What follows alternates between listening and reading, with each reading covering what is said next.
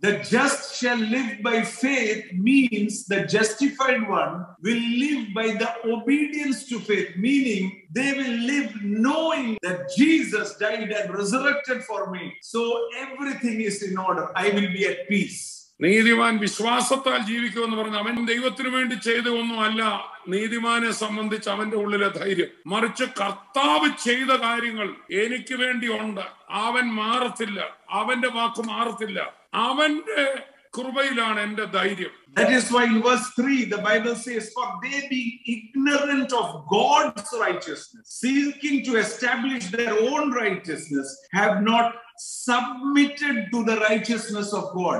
Submission to the righteousness of God, meaning submitting to the word of Christ. Who is the righteousness of God? അതുകൊണ്ടാണ് റോമർ പത്ത് മൂന്ന് നാല് വായിക്കുമ്പോൾ അവർ ദൈവത്തിന്റെ നീതി അറിയാതെ സ്വന്തം നീതി സ്ഥാപിപ്പാൻ അന്വേഷിച്ചുകൊണ്ട് ദൈവത്തിന്റെ നീതിക്ക് കീഴ്പ്പെട്ടില്ല വിശ്വസിക്കുന്ന ഏവനും നീതി ലഭിപ്പാൻ ക്രിസ്തു ന്യായ പ്രമാണത്തിന്റെ അവസാനമാണ് അഥവാ ക്രിസ്തുവാണ് നീതി ആ ക്രിസ്തു തരുന്ന നീതിയിൽ ആസ്വദിച്ച് അങ്ങ് റെസ്റ്റ് ചെയ്താൽ